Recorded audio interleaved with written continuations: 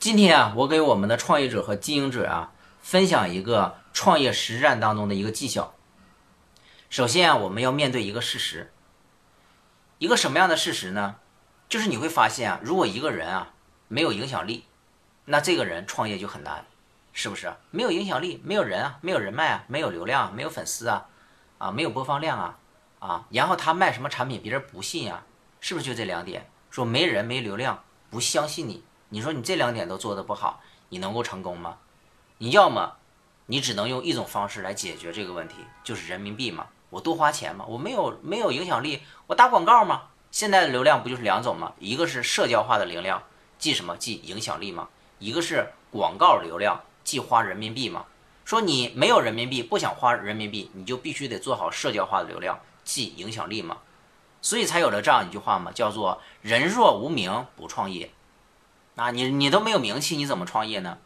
但是我们的创业者和经营者如何来提高自己的名气呢？今天我就给大家分享：你若无名啊，可以借名；你若无力啊，可以借力啊。如何来借名借力呢？给大家讲解小窍门。打个比方说，你现在想借我的名，借我的力啊，怎么做呢？你们有没有这样做的？把我五百多个短视频看个遍。看一个点个赞，然后呢写出相关的评论。有人说老师你就来推你的自己的短视频了吧？不是的，我在做 QQ 空间的时候，大家应该记着，当年我们做 QQ 空间自媒体的时候，那时候是很赚钱的呀。啊，我刚刚写的时候什么呢？是没有名的。但这个领域当中就有几个特别有名气的，啊，我就关注了他。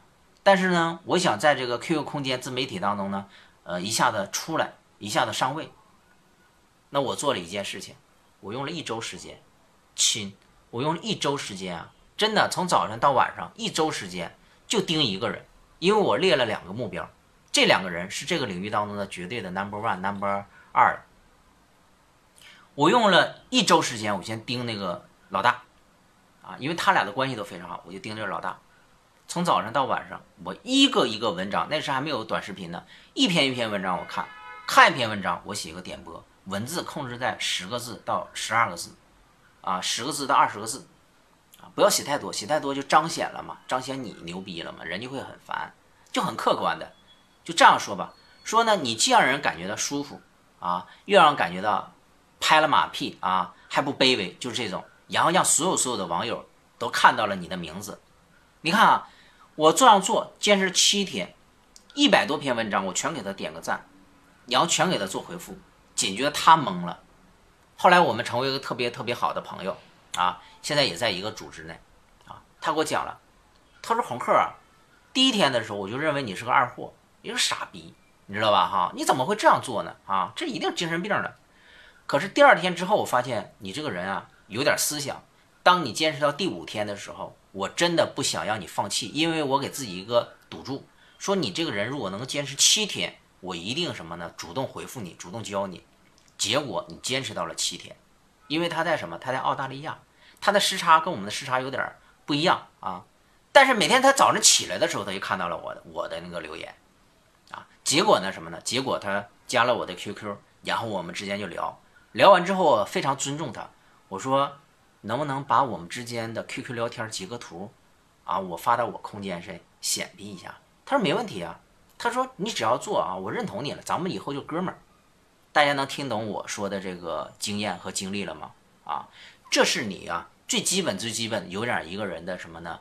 这一个心嘛，就是很可能是很慢，但是的话呢，你真的做了这件事情，人家会尊重你的啊。这就是什么？这就是你可以借别人的名儿啊，借名儿的过程当中，事实上就是个社交嘛。你真的让人感觉到，嗯，你这个小伙子很牛气的，你知道吧？哈。”什么叫做借力呢？就是当你之间发生了关系的时候啊，你把它截个图啊，啊，或者说跟他互个动啊，人家给你点个赞啊。后来的话，他大量来推我，我这一瞬间的话呢，不到一个月，QQ 空间的阅读量是十几万，就上去了。人家几十万的粉丝点一个赞，对不对？推你一下子，你不就全来了吗？或者说在自己下面那些粉丝留言当中，着重的跟你一聊天儿。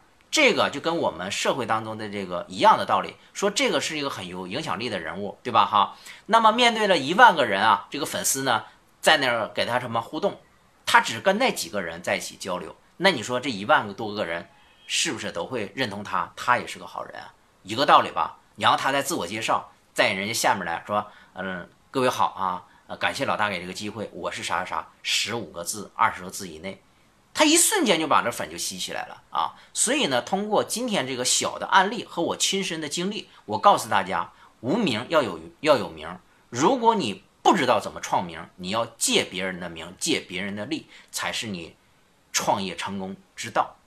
我是红鹤，每天给大家分析和分享有关于创业营销相关的事情。针对于如何借名、如何借力这些小的案例，我会陆续的给大家分享。谢谢。